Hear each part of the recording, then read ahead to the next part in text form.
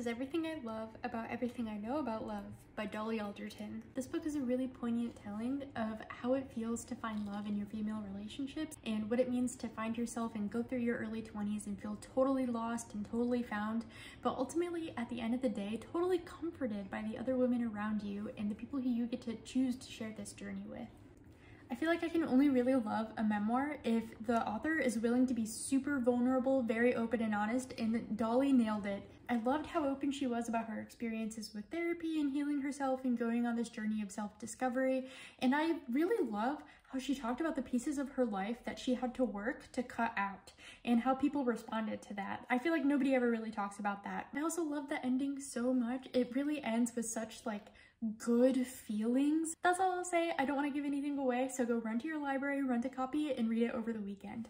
The rating that I gave this book was a really high 4.8 out of 5 stars.